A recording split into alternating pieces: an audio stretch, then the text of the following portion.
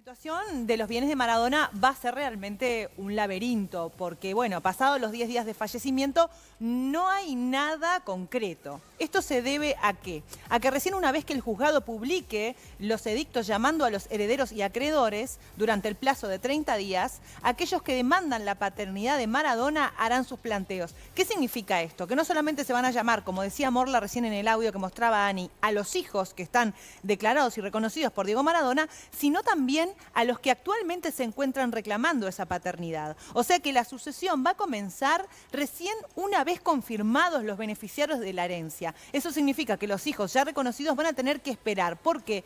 Porque el Código argentino autoriza al juez que va a tener esa causa a retrasar el proceso de la sucesión durante un tiempo prudencial, por supuesto, para que las personas que hoy en día se encuentran reclamando la paternidad puedan avanzar en sus reclamos. O sea que hasta que no esté determinado hacia quién va toda esa herencia, no van a comenzar los trámites de sucesión, que de por sí son larguísimos. Están pendientes también el juicio con Rocío Oliva, que le inició, este último que estamos saltando todos, y los tres que tiene todavía abiertos con Claudia Villafañe. O sea que hay varios juicios por resolver antes. Y uno de los protagonistas principales, por supuesto, es Matías Morla, quien era el último administrador de los bienes del 10. Hablan de que Matías Morla es el dueño de la marca de la marca Maradona. Correcto. y de algunas otras cosas más que no También es lo que se dice. Morla últimamente no se ha mostrado públicamente, lo que tenemos es lo que en realidad mostraron Dalma y Janina, este audio que, que se filtró.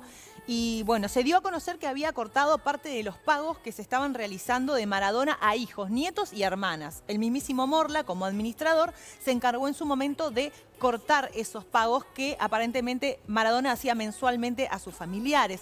¿Por qué sucede esto? Cuando Maradona muere, todas las cuentas bancarias, al menos las que tiene en Argentina y las que tenía en el extranjero también, quedaron bloqueadas. Porque con la muerte de él ni siquiera el, eh, digamos, apoderado del dinero, que era Matías, puede utilizar sus cuentas. O sea que actualmente la situación esta económica de las cuentas de Maradona está totalmente congelada hasta que se realice la sucesión. Ni siquiera Morla.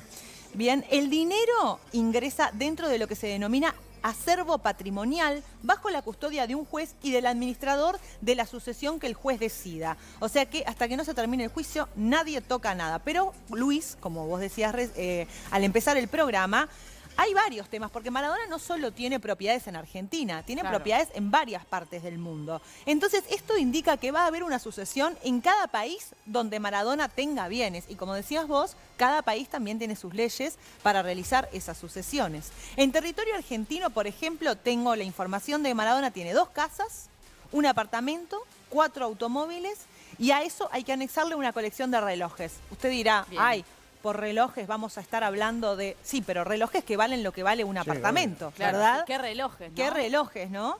Este, Entre esos relojes debe estar el que le regaló Ricardo Ford. Sí, por 70 mil dólares. 70 mil dólares, lo que vale, sí, una casa, un Hay apartamento. Que tener 70 mil dólares acá. En, la, acá, sí. Cuando Diego volvió de Dubái, se trató eh, todo esto en un contenedor que está todavía bajo custodia, así que todo está trancado. Ahí conviven objetos históricos, como por ejemplo una carta escrita y firmada por el mismísimo Fidel Castro hacia Maradona, la guitarra con la que Andrés Calamaro le compuso la canción, artículos que si al día de mañana van a un museo, perfecto, pero si se ponen a la venta también van a valer oh. miles y miles de dólares. Y también le quedaron en Dubái por ejemplo, un Rolls Royce Ghost que está evaluado en 300 mil euros, el auto, uno de los autos que le quedaron en Dubái, y un BMW i8 que está tasado en 145 mil euros. O sea que solo con esos dos autos estamos hablando casi del, del medio millón de euros, ¿verdad? 450 mil eh, euros.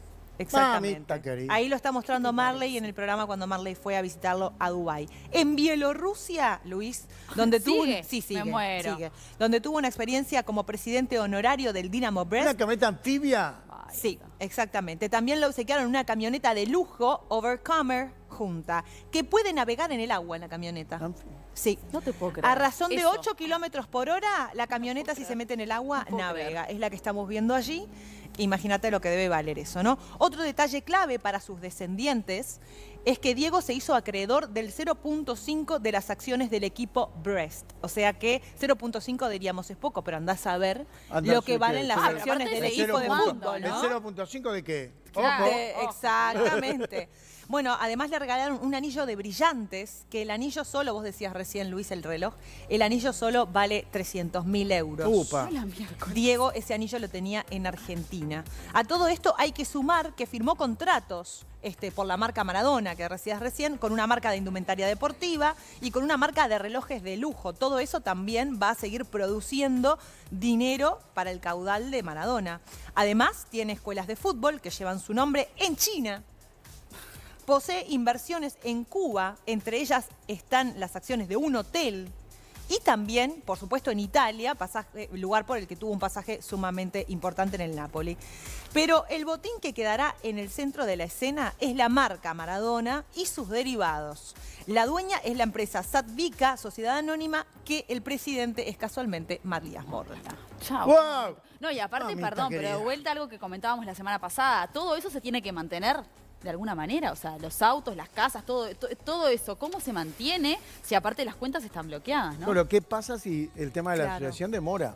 y sí, porque uno, dos años, va a demorar. va a demorar. Sí. Viste que lo que decía Morla es que primero hay que ver cuáles son los hijos. ¿Cuáles Faltan los son, no? ADN. Sí. Faltan- Uh, por eso, lo que va a entonces, deber de claro. lo que va a deber de patente es el Rolls De pa- Royce. de Bueno, no, por terrible, ejemplo. no lo quiero, no. No, no, eh, sí, y sí, entonces, ah, sí, ¿cómo El- se mantiene lo, Lo del eso? museo que estaba en disputa con Claudia también, eso. También, claro. Las camisetas. No, no tiene impuesto primario. No, Maradona. como es las expensas, es que le, le dicen allá de las casas que tiene ahí en Los gastos Argentina. comunes. Los gastos comunes. Lo que serían los gastos comunes. Exactamente. Claro, y sí, si tiene apartamento en Argentina, claro, todo eso, todo eso está dentro también. O sea que si siguen Y, peleando. perdón, pero van a estoy perder.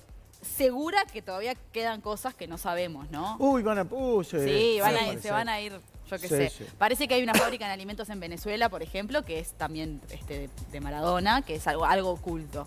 Y así, más y Ah, más y más. Mirá, ¿por eso está tan bien con Maduro? Bueno, no lo sé, no, No, no, eso es algo que... che. Epa, no puedo preguntar nada. Últimamente no puedo preguntar nada.